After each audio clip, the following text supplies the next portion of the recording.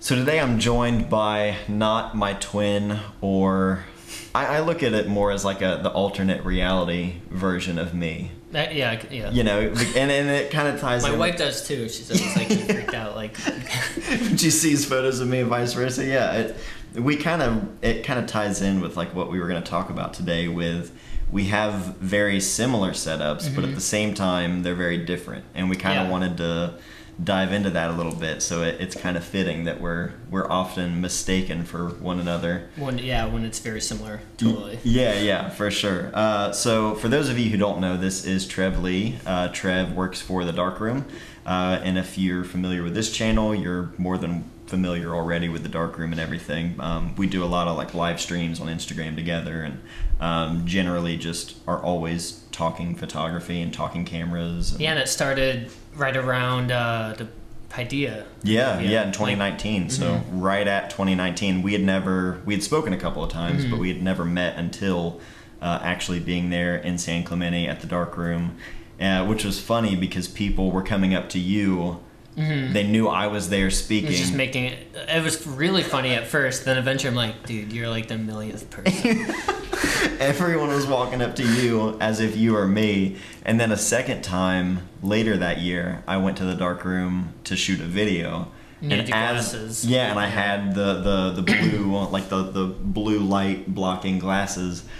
And as I walked through the dark room, people were like, "Oh, hey, Trev!" Like they thought you were in town, you know, for Mm-hmm. Especially work. if it's peripheral. Like, yeah, just yeah, like- and I had a hat on and glasses and stuff. Uh, now it's a little bit different, but um, but yeah, Trev is in town visiting family. You're originally from Ohio. Mhm. three hours north of here. so, Yeah. like, northwest. Right. So while he was in town, we had to get together and uh, do some kind of video together. So he drove down to Chillicothe for the day, and we've just been walking around all morning shooting photos and. Uh, Thought it would be a good time to kind of break down essentially our everyday carry kind of setups because all of the whole, you know, it's like a very similar setup but also very different. Um, I have an M6, he has an M5. I prefer 35 millimeter, you prefer 50. I shoot HP5, he shoots Tri-X. So it's like, it's all of these almost the same, but Yeah. also uh, kind of the, again, the alternate alternate reality version. Yeah, and it worked out because when I was coming out here, I was like trying to think about what we could talk about, and I was like, oh, it's like there's so many comparisons here. Yeah, And there's n- the cool thing is there's no right or wrong. right. They're just they're so close to each other. It's just like comes down to pre- like little preferences. Yeah, yeah, and that's I mean ultimately over the years, even on this channel, I don't really say this is the best camera for everybody or this is the best film stock for everybody. Mm-hmm. Everything in regards to photography, it's so subjective, you know, Totally. and it, it really does come down to personal preference, which to me I find that way more interesting than specs because you could take a camera that may have less specs than another, but you know, Yeah, it's not all about. I mean, that's what's even with like the dark room. We were talking about this earlier, where I get to shoot a Yeah. wide variety of film, wide variety of cameras, and there's always like someone would be like, "This is the best," or "That's the best," or "Why would they like? Why would you share this? Because this is a better film." And, like that's the cool thing. You don't have to like everything. yeah. It's cool that like if, It's good if this still was have all there was, Yeah. that'd be a bummer. Like Right. we were talking about, there's like some film stocks that I personally don't like Right. for myself, but it's awesome that others like it. Yeah, yeah, absolutely. I mean, I I love HP5, and I know people that hate HP5. You know what I mean? And and and I've shot film stocks that I normally wouldn't use, but sometimes I might make a photo with something that is kind of out of the ordinary, which is yeah, it's, it's just fun. So uh, I guess for starters, we can kind of talk about some of this. Um, the M6 for me, kind of being and it was like a dream camera for a long time and it's been my everyday carry kind of camera for the last seven years and it really checks a lot of boxes for me in terms of what i would want in like an everyday camera uh, and it does have some limitations that maybe it would be better if uh, i had something faster than one one thousandth of a, of a second you know uh, a lot of other cameras have one two thousand, one four thousand, even mechanically, like the FM2 Yeah, that we always yeah, talk about yeah, that. totally. Um, you know, there, there are a lot of different trade offs, but all around, in terms of the trade offs, you know, the pros and cons and everything, this has really just been it for me. Um, and the M5 for you, it kind of checks all of your own boxes. Yeah, totally. Well, first, it's cool that we're starting with cameras because I feel like people are gonna see like, oh, we're comparing this, but the coolest stuff we're gonna be ca- comparing photo wise is the lenses In the film. The film, because like both of these cameras will take the same photo. Yeah. It just comes down to ergonomics, price, avail- availability as well. Like this Yeah. is what was available to me, and um, and I fell in love with it. I don't think it actually the M5 probably wouldn't have been the one that I picked if it if it th- they're just like pick a camera because I hadn't heard much about it. There's a lot of hype Yeah. about these cameras and for a good reason. And I had only heard about you know M3 and M6. Right. I was gonna say the M5. It's it's overlooked, but I don't think it, it definitely doesn't get as much credit as it deserves. Granted, it's very different, but yeah, and I can go into why. yeah, yeah. I mean, please. so this uh, this uh, was I think it was seventy one to seventy five, I believe. So it wasn't made for long. It was not well received. Uh, it was not well liked. it's kind of a It- whoops. Never yeah, mind. yeah, and it. I always joke around that's like the ugly duckling of Leicas. Um, a lot of people just like who are into Leica don't like this camera as much, and that's because clearly they went it- very. they went a different direction in some good and some like it's opinion but bad ways as well Yeah. um, it looks different it's larger the reason why it's larger is because it's the first um, leica with a meter Yeah. and it's it's kind of funny having these next to it and bring it up this is the ttl Right. but that which is kind of confusing it's ttl for the flash this was the first ttl leica Right. because it's through the It's lens, through the lens meter. but not on the flash. So Right. it, this is the first Leica with a meter, uh, Leica M, Yeah. and its meter is awesome as an eight percent uh, spot meter, and it shows in the viewfinder as exposure needles compared to your LCD readout The arrows. little LED, yeah. Or LED, yeah. Yeah, yeah, Yeah, the little dot and arrows there.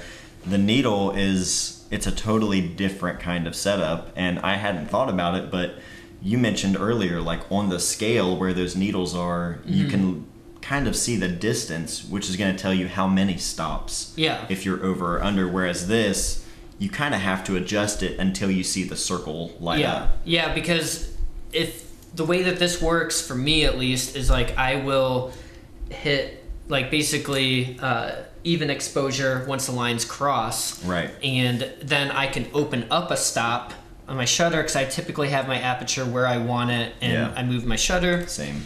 And then when I open up a stop, I see that space, and then over time, you're like, oh, that's a stop, that's two stops. Yeah. And you don't have to think about that that much. And then on top of that, with shutter speeds, this shows the shutter speed in the viewfinder. Yeah. Unlike M6, the M7 does, but only in aperture priority. Ah, I didn't Um, know that. I've never yeah. shot with the M7. Yeah. I didn't know it actually had a readout for the. It does, the but just only for aperture. yeah. And that's why this has the little light window, That's what that's for. That's I wondered what that was letting light yeah. into. Okay. and that's for the needles. Right, um, right, right. And probably the shutter speed as well. Yeah. And then speaking of shutters, this one ergonomically is better than anything prior to it. I think so. Then because it has the bigger shutter Which dial. is another one of those.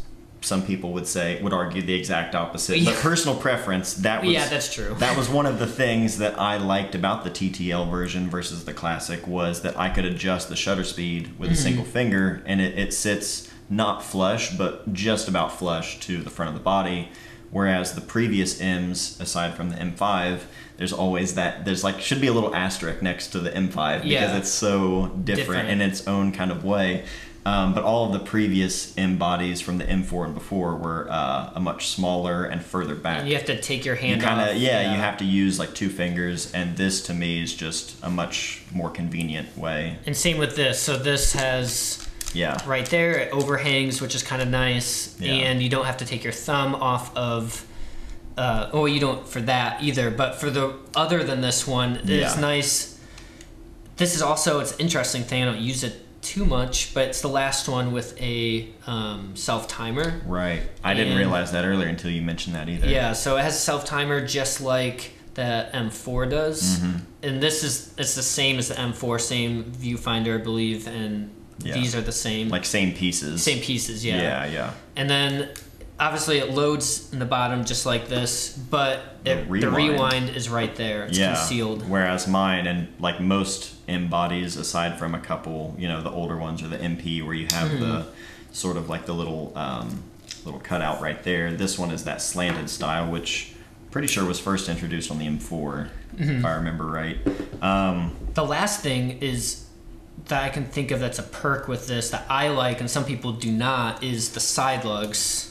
Yeah, that's true. So like the side lugs, it's preference, but I prefer the side lugs because I don't You don't have anything on the right side. yeah, I don't have anything in here. You don't have to choose like where your finger's gonna go. Right. Um, which it depends. Like for me, that is it might not bother you at all. It might fit Yeah, perfectly, yeah. so it's good, or you have that security. Right. Um, but it's nice that for it's free on this side. Yeah. It is a bigger camera. I'm Right. not a big person. I don't have big hands. If I were to, if someone that was, you know, tall, larger person than me was wanted a recommendation, I would 100% recommend this camera Right. because size might not be necessarily issue and it's going to be cheaper. True. Um, and it will still take just as good of photos. It's just, you know, Yeah, I mean, you your your film camera body is really just giving you access to whatever format it's shooting, whether it be 35 or Mm-hmm. medium format or large format, I guess. But um, more than anything, the the lens mount. You know, Yeah. that's that's really that's what the value of these cameras. exactly exactly yeah. So if, if your main concern is is just getting access to that mount.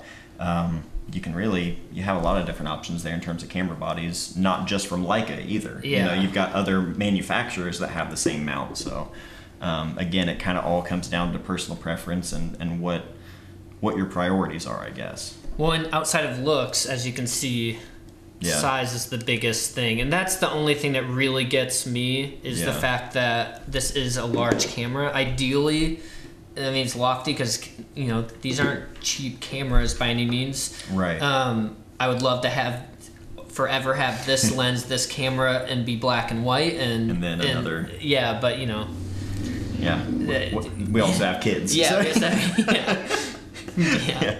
So. Um, But but uh, like we were talking about, the the biggest thing is the lens. You know, Mhm. like that. That's really what you're what you're getting when you're shooting film anyway. In terms of like choosing your camera, this is inside here. This is just a box. The same way that's just a box that's going to let in light. You know.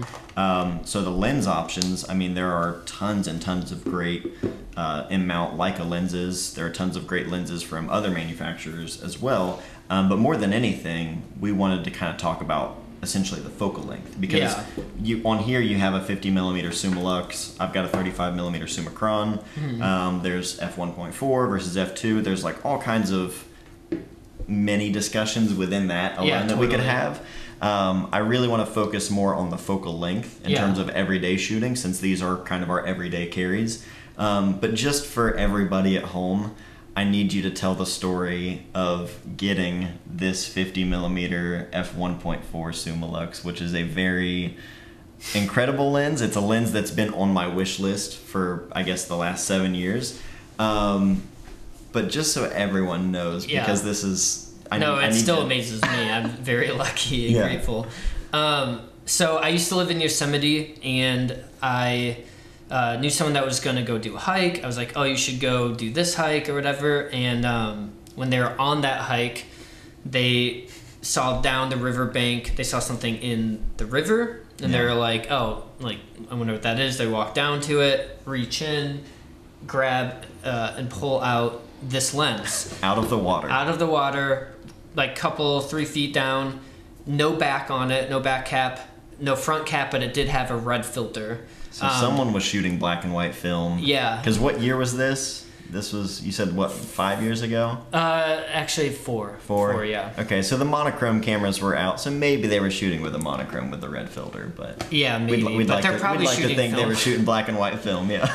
And so, and it, it had a dented, and it still kind of does. Um, dented, uh, like this that, is that yeah, that shaped out Yeah. pretty well. and then it was a little dented, like scraped here. And then there's some water damage. I shot with it, so I had never had a Leica. I didn't like have the money or the budget for it at the time. So you got the lens Got the before you lens. ever got any Didn't have a like camera. I was so eager to try it out. I Yeah. couldn't. Um, and then when I was down visiting the dark room, Phil Stebley, the owner of the dark room, uh, great, like great guy. Yeah. One of the best people ever. uh, yeah. So he has some awesome, like a couple different Leicas, and Yeah. You know, it's so funny thinking about it now. Like I didn't know what I had, Right. and like That's what I was curious about because you know someone your friend found it and, and knew you were into photography obviously Mm-hmm. so they were they called you but I'm sure you knew I knew it was expensive. you knew I to an extent like oh it's a Leica lens it's you'd heard I just thought it was expensive because it was a Leica. I didn't realize how good of a Leica lens it right was. Right. I gotcha yeah yeah. So Phil let me shoot it on. I first shot it on a M3. yeah perfect for Every yeah, it was perfect. Yeah. It everything looked good. It was a little dark, um, so I just always metered like half a stop to a stop more. to co- to compensate for like the water damage is that right So Or yeah, there was a little bit of water damage uh, to be expected for to be expected. to be underwater And you couldn't really tell until you put like a hard light, like your iPhone light, gotcha on and it. shine through it And I shot like that for a while, and got really good results. It was still it was still very sharp. Yeah. Uh, but exposure wise and color, I think it was a little bit off. That I would notice when Right. shooting color film. especially for a lens that is known for just how great it is. Yeah. Like you, it would be more apparent on a lens like this comparing to a say one that's fresh out of the factory. Totally, totally. Yeah. So then when I was I was actually talking with uh, KEH and we were telling about this video and I was like I'm gonna, I was like telling them about this lens.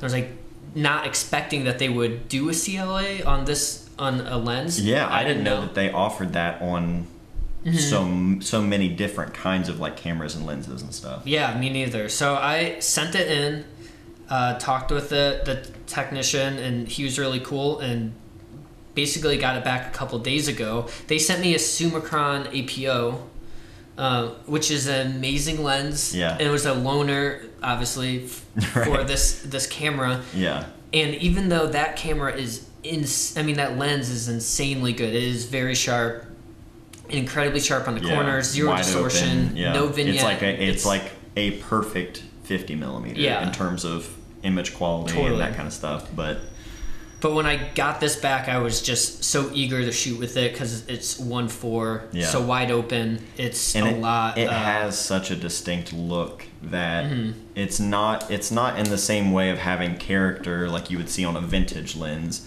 but it has enough character there to kind of separate like to set it apart Mm-hmm. from you know some of the other offerings so Yeah, it.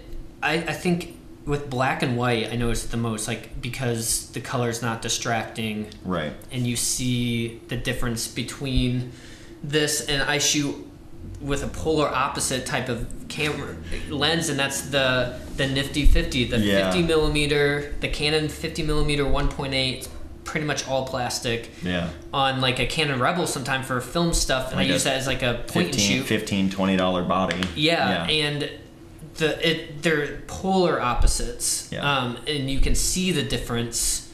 You know, not that the other one's bad. It's just there's a completely different look to it. for sure Um, and it isolates.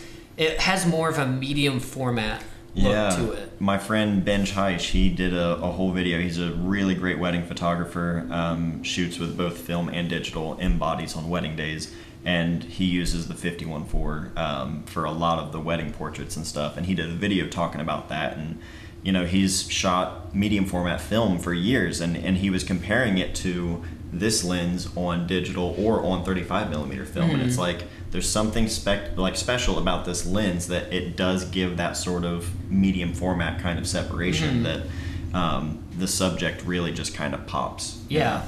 Well, and you know, not to talk too much specifically because we're mainly talking about focal Focal length. length, right? But it's But Yeah. because I, I don't want people out there watching this to be like, like oh, I have to I have have to have a Leica, I have to have Right. a uh, like this specific 50 millimeter. yeah. You know, if I this is what got me into like I didn't own a, my own body for three years after having this. Yeah. So I borrowed and this sat on the shelf a lot. Yeah. So, but there's other 50s in general. I gravitate towards 50 more Yeah. with any camera. Honestly, right behind you, that Minolta, the XGM, Oh, yeah, right that there. 50 f1.4 Rokkor lens. I mean, that was like my only camera and lens for several years, Mm-hmm. and that's what I learned everything on. But even several years ago, um, shooting weddings with like a digital Fuji body, I had an adapter to mount that lens, and it was like the same lens that I learned photography with, That's so basically. But I was able to use it on like modern weddings because it just has a special look. It's Mm. not the it's not sharper than this lens or that lens or you know that wasn't it. It was just because it had a special look to it. And at the end of the day, that's that's really what it's all about. You know. Totally. I mean, we were even talking about with film, like we were gonna test to see what this looks like because I still have that APO, Yeah. and I don't notice a difference personally, unless I was really close, maybe. Yeah. Uh, so that's and it's also one of those things where it's like if you're posting just on social media, doing small prints or website stuff, you could have that nifty fifty. Which is like a hundred dollar lens, Yeah. and you know, for the most part, people aren't gonna notice the difference. Never difference. gonna know. Yeah. Uh, Absolutely. It's just it took me many years to even get to the point where I owned a camera that would be considered my dream camera. Same, yeah. So like, there's a level of like, don't feel rushed Right. to get I what know. everyone's saying is the best thing. I don't. I, I'm leery of doing videos like this all Right. too often because I don't want people to think that this is the pinnacle. If you're not at a Leica body, Exactly. That- and, and that's the same thing for me with even like having a whole YouTube channel. Like I, I talk about this camera a lot and now other Leica cameras, but I spent many, many, many years before ever even I wanted one for a long time, but I could never justify the price. And it wasn't until I had already been shooting for, I mean, nine years maybe I think when, when I got my first. Yeah, right, same uh, for me. Yeah, and it was just kind of a you know, I took a leap and, and I'm glad and I really enjoy the camera body, but you can absolutely do amazing work with much cheaper setups, much different setups. You know, Mhm. again, it kind of it's all about your personal preference. Um, but let's talk about the focal lengths in particular because for me, 35 millimeter is sort of what I would kind of consider my perfect everyday lens, just because it gives me enough to show the environment. And Mhm. it wasn't. It actually wasn't until I started shooting with a rangefinder that I gravitated towards 35. Mhm. Before that, I always shot with a 50. And when I got my M6, it was like, you know, what what lens do I want? And I knew a lot of uh, Leica M shooters really preferred the 35, and I Mhm. kind of like read up on it and tried to do some research.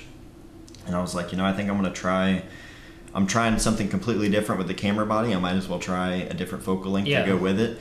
And the two, using a rangefinder in general, but especially just having that wider field of view, changed a lot for me in terms of how I compose things and like uh, what I included in the photo. I felt Mhm. like for me with a 50, I was so kind of restrictive where I I was really particular about isolating things and I really didn't want too much in the frame. And 35 not having that compression to kind of clean things up or even the depth of field. I mean, you can get a shallow depth of field, but especially on this camera, yeah, with the, the sh- was- it depends on your ISO. yeah, your yeah, film speed, your light. shutter. Yeah, like I was mostly stopping the lens down anyway. And I think that just taught me a lot more about composition and layering things uh, because I couldn't, uh, you know, crop things out of the frame as easily Yeah. because my frame was wider uh, and I couldn't blur things out as easily. So for me, 35 taught me a lot about context in the photo and like including more of the scene and using that to your advantage and not just trying to you know sweep things out of the way Mhm. essentially you know like 50 for me and I still like to shoot with a 50 Yeah. but it's a it's it's a totally different mindset that I don't look for the same kind of scenes and I don't Mhm. photograph things the same way You know yeah, I I'm mean? the sa- oh totally. I mean, one, it's like I just thought about this when you were talking about how you shot with a 50 first. Yeah. And most people that shoot film start out with a 50 yeah in general, and that's because back in the day, like when this. that that was my I found that set right there on eBay for 50 bucks Yeah, So- and you know, back in the day when these were coming out, the kit lens was typically a 50, Yeah. and they were just fail safe. They're good. They're sharp. great for students in Yeah. classes and stuff And with a 50, you learn like metering's a little bit more straightforward because it's a smaller area. Right, right, You don't right. have as much range, you don't have as much sky always. It's a smaller part. And then also with framing, like you were saying, it's easy, it's good to learn on a 50 because it forces you to think about framing. There's a little more compression. Yeah. And I feel like it'd be harder to learn on a 35 because there's so. so much more to it framing, but could be wrong. Well, I think I think for a long time that probably would be the case. Now I often wonder with smartphones and It's that true. wider lens. They are wider, yeah. Now It's like a 32 equivalent. yeah, yeah, it's something wide, and it's like, what kind of uh, influence does that have when people That's a good start on a phone now, as opposed to years ago, where ideally their, That their first camera they pick up is going to be something with a longer lens. So it's interesting to yeah, think that could be like, a shock if you've never Yeah, yeah. shot telephoto. And that's funny because this is even it's like not quite telephoto. No, but It's but if you're used to an iPhone yeah. or a wide lens, It is that would telephoto, feel yeah. Although now with you know we've got like three lenses on our iPhones now, Mhm. and they're probably gonna put a fourth one on soon. but like a 200 but- millimeter. yeah, but you know, it's like it, it's just interesting how that kind of uh, affects things. But yeah, when I'm shooting with 35, it's just a, a totally different mindset as opposed to 50, and I think.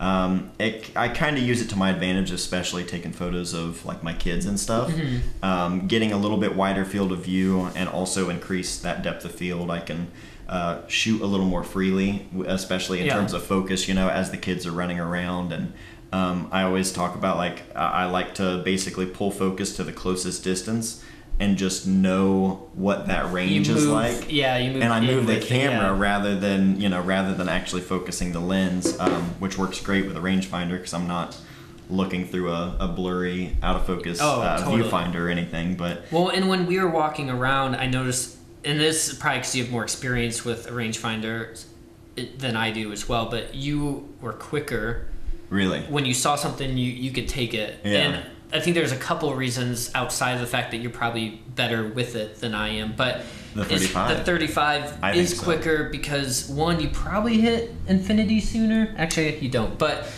but I mean, it doesn't have the same uh, compression. right. So like, it's that depth of field is a lot. It, yeah. It's larger, and I mean, most of today I was shooting it like f8 at a thousand. Yeah, you so know, it's it's good. nice and bright. Um, giving myself a little bit of room to kind of expose for the shadows a tiny bit in some situations, but um, yeah, a lot of that is just kind of knowing if I'm at f8 and knowing like how far away I am from my subject. It's sort Mm-hmm. of a quick, and that more than anything, it the 35 definitely lends to it, but it does have a lot to do with just mostly my kids. They give me a lot of practice. Yeah, you know that's what I true. mean? I need to Um, get. I well, now she, she's on the go now, Yeah. so like, yeah, for sure. Which that's where so the reason why I like the 50 is because I like the compression. I like the cl- like I like There- yeah, I shoot with this more outdoors when I'm walking around and like like I see something across the street. I don't have to cross that street. Right, Type yeah, of thing. yeah. Because I can fill the frame faster because it's closer. yeah, Um, I like straight lines yeah, and we're these are both really good lenses so this has really good it Yeah. doesn't have as much, Not as much distortion, as like a cheaper 35 millimeter which i learned on so like i have this mindset of like 35 millimeter has distortion you're gonna have all your lines are gonna. yeah so and that's something that kind of shaped why i like a 50 a little bit more even though that wouldn't For happen as much with that but I look for much more like.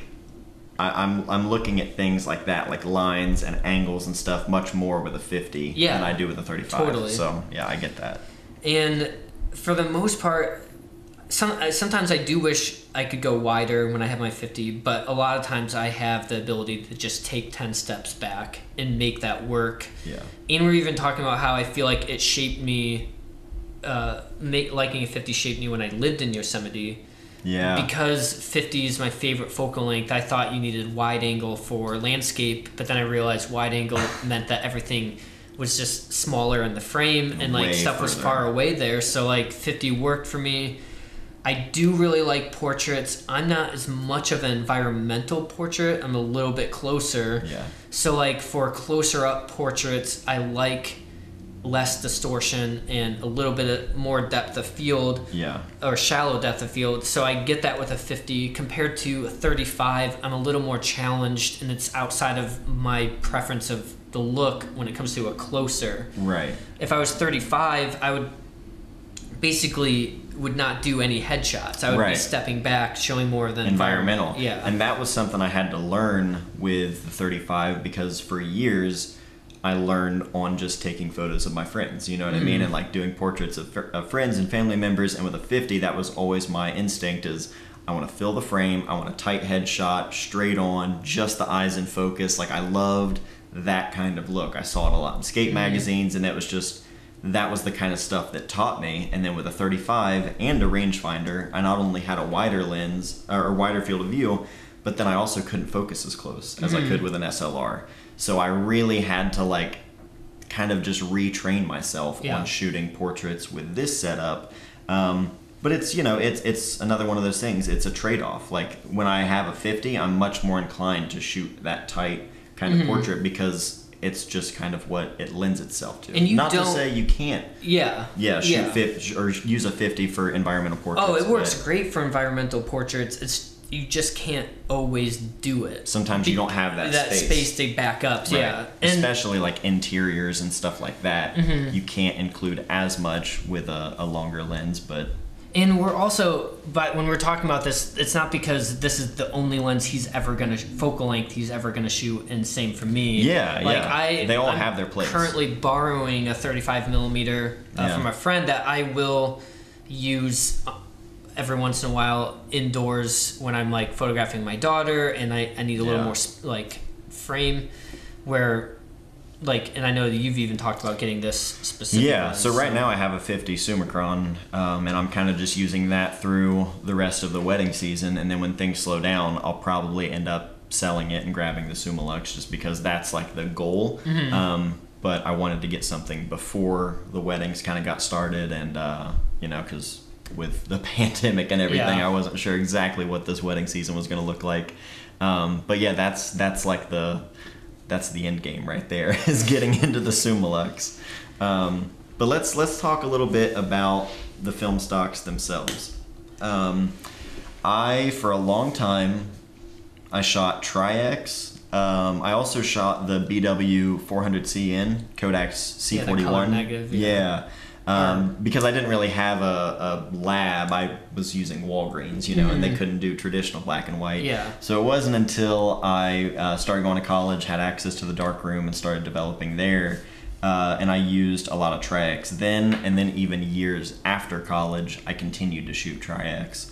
Um, but it's been about, I want to say, about five and a half years, roughly, I'd say, that I've been shooting HP5. And initially, the reason I switched was to cut the cost in half because I was bulk loading. And bulk loading HP5 Yeah. dramatically cuts the cost down. Um, and at the time, I don't know what it's like now, but at the time, bulk loading Tri-X didn't really affect price. And I was like, well, I can save some money. Um, I believe Molly was pregnant at the time with Nora, so saving any money that I could along the way was kind of Yeah. uh, that was on my mind. And in general, there's still that still is cheaper outside of even bulk. just buying Yeah, like yeah. to go and buy one roll Is is a cheaper. little more expensive, Is it okay? See, I wasn't even aware of that. I, I wasn't sure where prices were Mm-hmm. on Tri-X now because it's been so long since I've shot it, and I still love the look of Tri-X, but. Um, I started experimenting with Ilford films, and HP5 was one I I don't think I'd ever shot in 35. I think I'd shot maybe a roll or two in medium format at that point, but I was looking specifically for 35 because that's what I shoot everyday life with. That's what I shoot more than anything. And uh, HP5, the, the first thing I noticed was a little bit flatter contrast, and uh, more than anything, in the shadows. The shadows weren't as like punchy, really dark Yeah. shadows um, as opposed to, to Tri-X. Um, I could always add that in later if I wanted to, if I wanted to really add that contrast, whether it be in a film scan or even in the darkroom.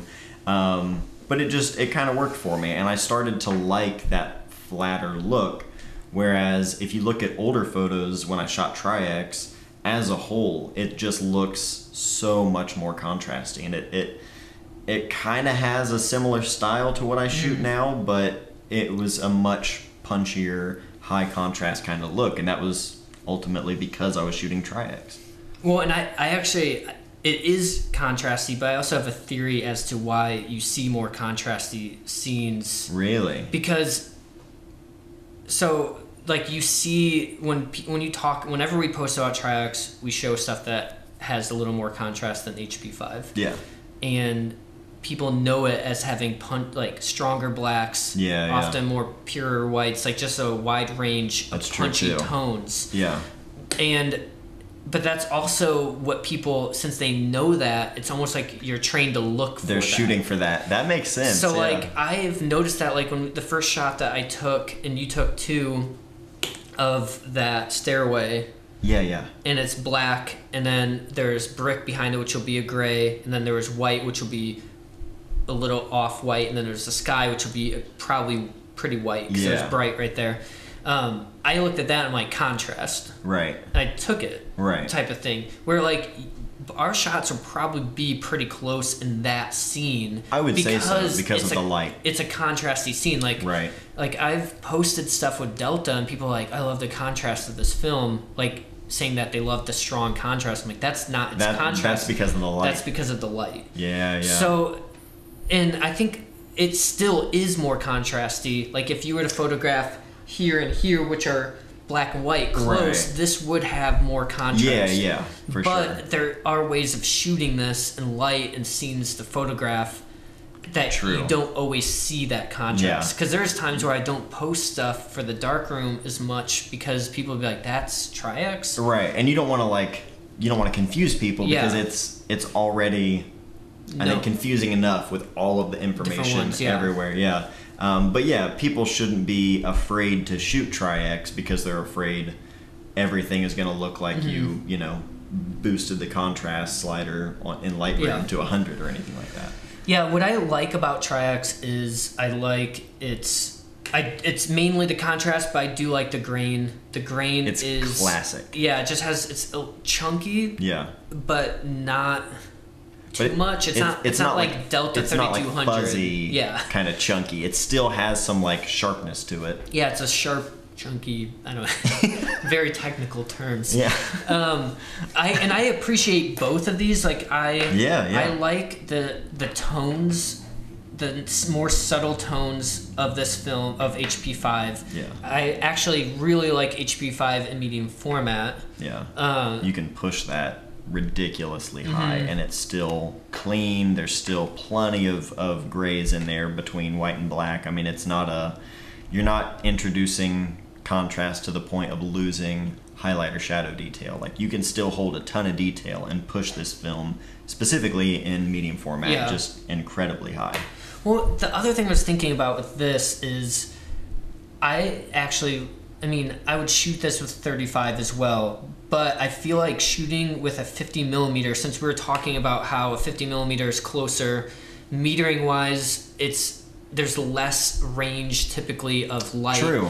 And Yeah. and I often fill the frame. So if I'm photographing you here, there's there's like you know bright window, white, a gray, like a neutral gray right here. yeah I'm so close to you that I'm metering. you're Basically, you are a shadow right now. yeah yeah yeah So it's close compared to if I was shooting it wide and there was a lot more. You're getting would a lot more of range. it. That's a good like- point. Like this would possibly could possibly do better when it comes to tonality in the highlights or the shadows. Right.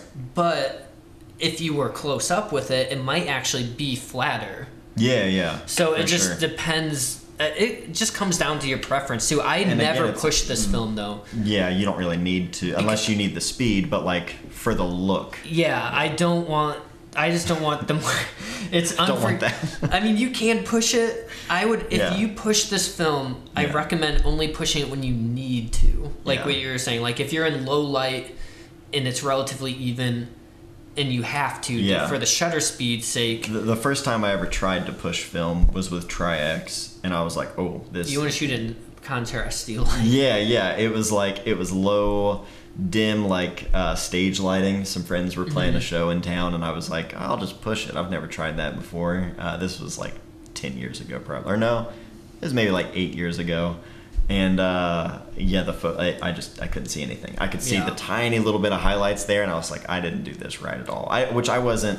It was the first time doing it. I I know I wasn't metering properly or anything, but um, it wasn't until I started shooting HP5 that I started regularly pushing film, um, and I think a lot of that does have to do with sometimes it's a little too flat for a lot of people's taste, and and pushing it does give this film um, a little bit more contrast, like like most films. Well, if you feel like this, if HP5 is too flat for you, the one thing you can do is just, which you should do for the most part, is err on overexposure Yeah. and meter for the shadows, and you're gonna get naturally more dynamic photos. Yeah. Because it does well with the highlights, but if you're like a lot of times when people get flat stuff, like something that we see in the dark room um, lab often is that people underexpose their black and Yeah. white, which can be very easy to do. You hear people talking about you need to underrate it, like shoot this at 100 or that at 200 or whatever. Right. But a lot of that's just like if you meter for the shadows, make sure that you're metering for like if your subject making them neutral gray and understand that your camera is trying to make Everything thing neutral, neutral gray and how to meter for that and how to open up a stop if you don't want someone's skin to be neutral gray and you want it to go a little brighter.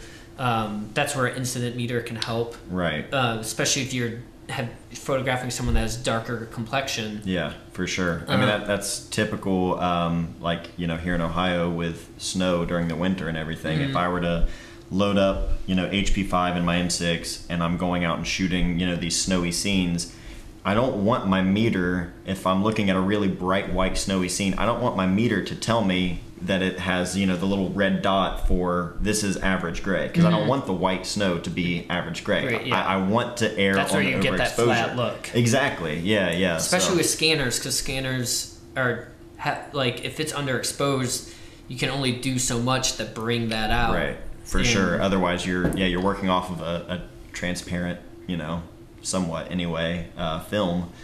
Yeah, there, there's only so much you can pull out of that.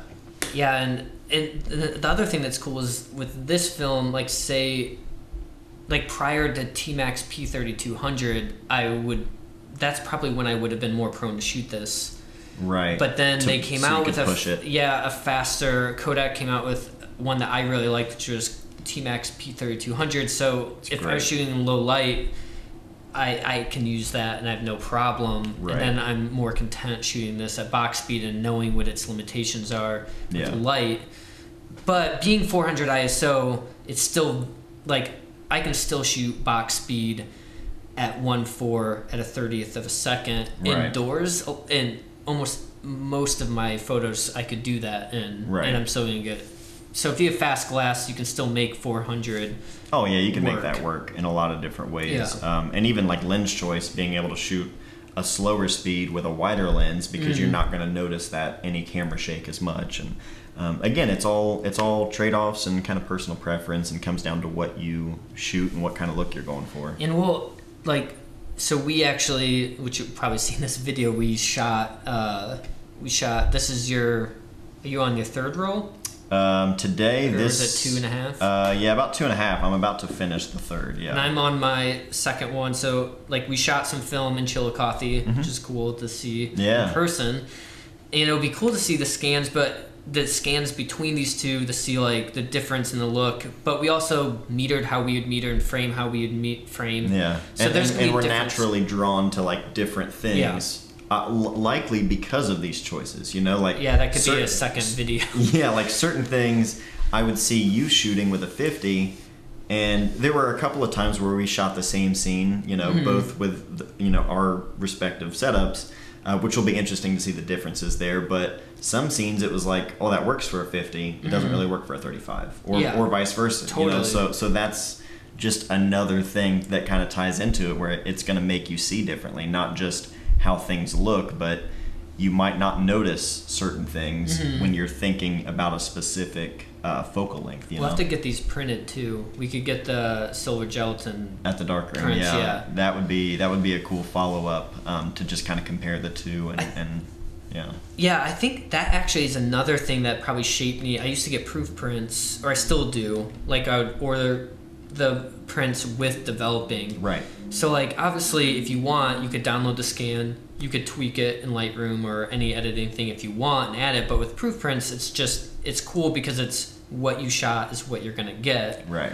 And I like contrast well so I that's something that was nice about this is that it came with contrast right out Already. the camera. You didn't have to add it and compared to if I did underexpose or something Yeah. a little bit and went a little flat, then I wouldn't have that. Uh, and that I think that's probably some, it's because you know with the darkroom I shoot a lot of different types of film, right.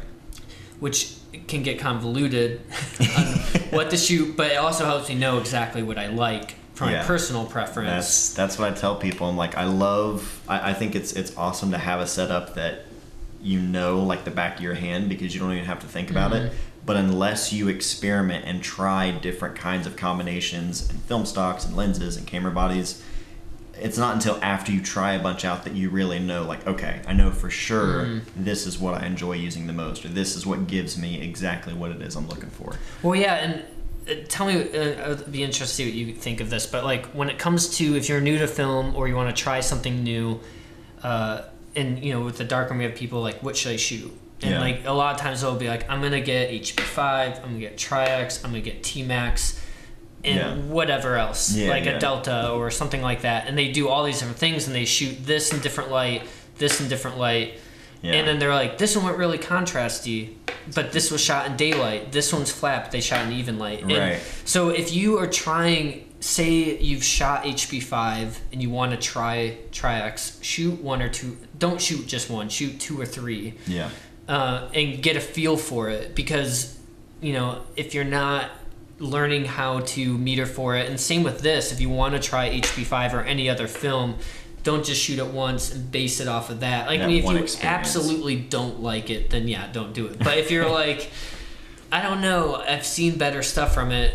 You could shoot a Keep couple shooting more rolls, more, yeah. learn from it. and you being like doing so many tests for the dark room and you know for social media to mm-hmm. show people the differences of the same camera and lens but different stocks in the same light that's a mm-hmm. really good resource to show people because again you can't just go off of one particular setting because you can get a hundred different looks, Looks, with this yeah. film just like with that film just like with any film mm-hmm. uh, yeah knowing how it's going to respond in all the different kind of setups that's how you get like a really good representation of what that film is really like and like what the true character is Yeah, I mean, we try to.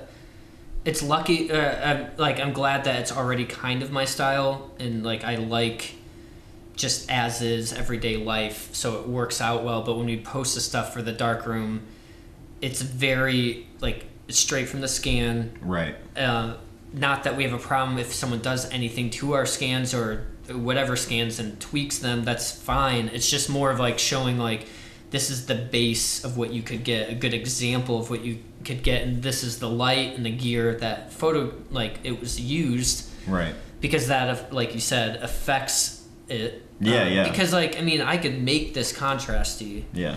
with light you know? Yeah. it just and even in post. Yeah. Yeah so we tried to do that, and that's something we show on like the film index, and we'll compare right a lot of them. There's so many film stocks to compare. We've actually compared these two before.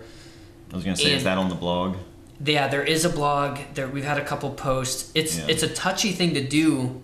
Like the next time I do it, we have to do it s- same exact lens, same exact camera. yeah because when we did it, we I've done it a few different times. One time we compared a 40 millimeter. Um, oh, what's the Leica 40 millimeter? oh uh the the Minolta had a Summicron and Leica did. It Yeah, was it a was- 40 millimeter Summicron. Yeah, so we did a Summicron, and we did compared the um, that lens on an MP to the Canonet.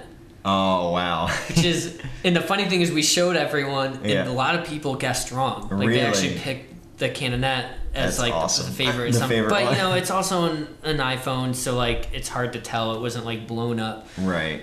And we compared them, but you know, those two lenses have different contrast. They render differently. Exactly. Yeah, We've done so other many tests. variables. Yeah, so in the future, that's something that we'll we need to do another comparison.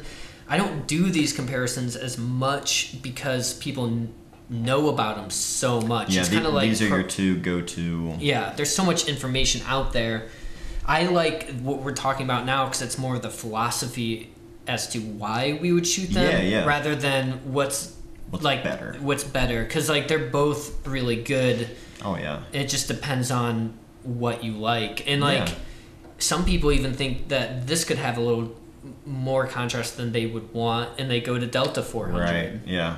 I know uh, Jason Lee. He likes to pull Delta film too Mm-hmm. to like really get that kind of flat, more grayscale. Yeah. You know, rather than a lot of contrast, and that's a whole other thing. You can you can do all of these different things to manipulate it, so you've got a a general look already kind of like baked into Mm-hmm. the film, but there's still tons of room to experiment and again really kind of fine tune it to your personal preference. So I think uh, yeah, I mean this setup works for me obviously that setup works for you uh, hopefully people would enjoy this you know long Yeah. kind of conversation we're probably about to do another long conversation on instagram live Oh i'd yeah, say I know, right? Yeah, We do this all the time, like though. cotton mouth. Yeah, yeah, no, we water. we do this kind of stuff though um, all the time on the dark room on their Instagram. Um, it's always a good time to just be able to sit and talk photography. But I think picking a a daily carry kind of setup and finding something that you're actually willing to carry every Mm-hmm. single day and something that makes you want to shoot every day. Um, I think that's important. So I love talking about you know what's your what's your go-to daily setup. So I Yeah. appreciate you sharing all this with everybody. Yeah, no problem. It's fun. I mean, this, I, and it's it's fun talking with you because you have a very simple setup. Like this is your only film camera Yeah. currently that you shoot with, Yeah. and that is something that's you know if you are when you first start out with film, it's hard. Like you could you have big eyes. You're like, I want the Yeah. FM two. I want Now, this. medium I want. format. I want to try four by five. I want to. But then you end up with like all these cameras like dangling off your shoulders, and like you're overthinking stuff. And Yeah. you know, I've been there. try out cameras have a great like a you know like think about don't think about what everyone says you should have Right. and if something works it could be a cheap canon rebel Yeah. film camera I love the you- Holga. you fall in love with and you're like this is it Yeah. even though people say it's junk Right. Yeah. I know people who hate the idea of you know spinning their medium format film in a plastic Holga, but the Holga is one of my favorite cameras cool- yeah, ever. cool yeah. It just it's something about it, but it's like yeah, whatever you enjoy using, that's that's what you should use. So.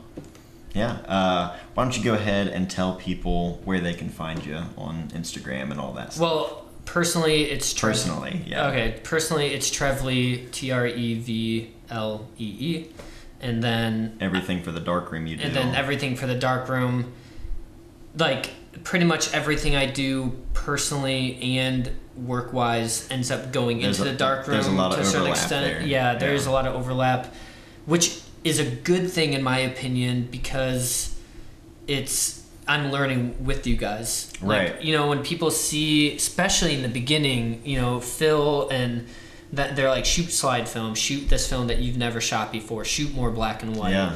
and I've been pushed out of my comfort zone to try different things, to try different cameras, um, to be open minded to creative effect films and Right. go out there and shoot that, even though it's not my personal preference, but find a way to appreciate that and share it for people. and share it for other people to learn. I mean, Yeah. that's huge. I know a ton of people who have either just gotten into film or people that have been doing it for a long time. Mm-hmm. And the dark room, just the dark room on Instagram alone, has become a great resource for film photography because it covers all these grounds. Mm-hmm. You know, it's not just here's your Fuji 400H at a wedding or here's your film. yeah, yeah, Yeah. exactly. Like it's it's very broad in the kind of stuff that you guys shoot and share, and uh, it's a great resource, you know. So And that's that's something I try to encourage other people to do as well. You do a good job of, at it, but there's so many people that shoot film, but there's also so many people that are learning to do that. Right. Where like it's not like digital